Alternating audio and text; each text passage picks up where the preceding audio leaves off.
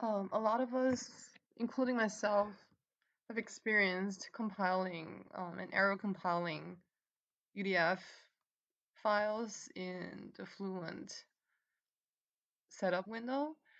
Now, if you're constantly experiencing this issue and could not find a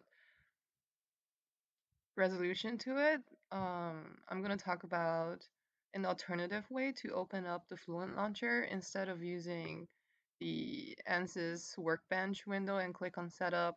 Um, we're going to use uh, another tool.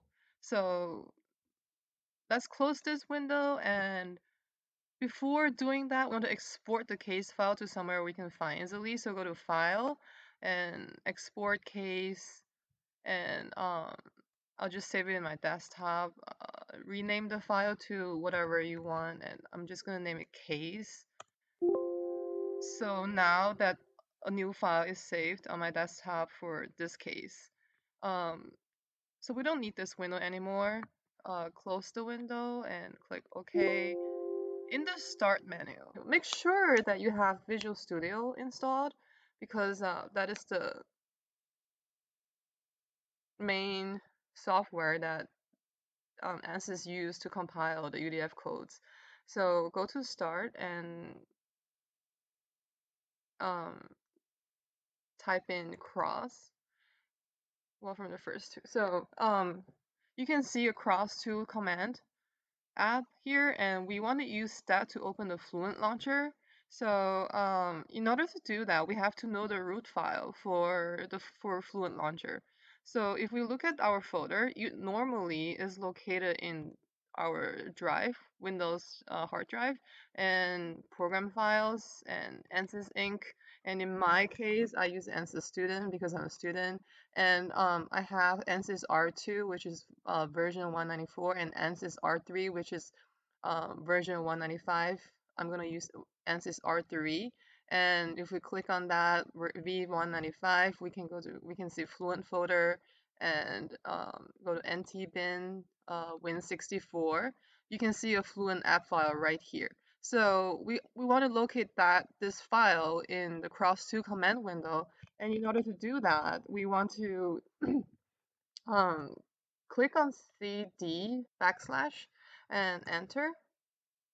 And uh, now we want to access the program files. So program files, sorry, you have to put in cd and then program files. And cd, ANSYS Inc. and CD ANSYS student. And so I want to use R3 which is CD V195 and um, and Fluent folder. So um, after that CD NT bin um, cd Win64 and so at this point we can access Win64 folder and just type in Fluent and the launcher will pop up. So um, for my simulation, I'm doing a two-dimensional simulation and double precision parallel to two processors and click OK. For this ANSYS setup window, uh, there's no file loaded yet. We want to use the previous case file we have saved. Uh, in order to do that, go to File, um, read and go to case. So um, I save my file in the desktop as case. So go up and case and OK. Okay, there's going to be an error message. Just ignore that. Click OK. Go to user defined. Click on functions and compiled. And um, now we want to change the library name to uh, libudf only.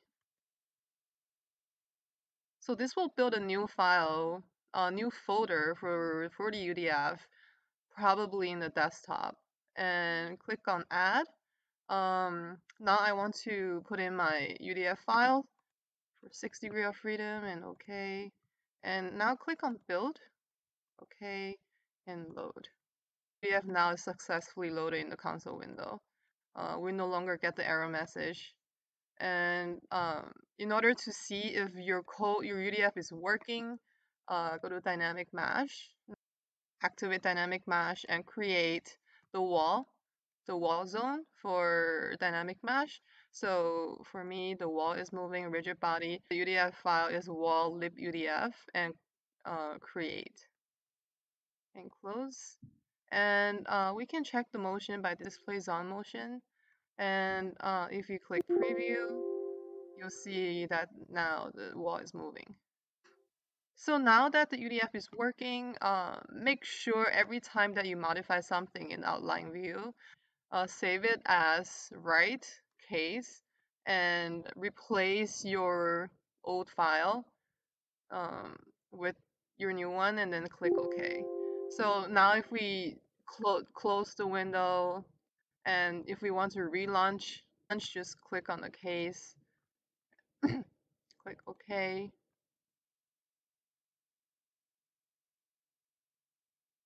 And just to double check if the mesh is still working, so click on dynamic mesh, click on wall, display zone motion again, and preview.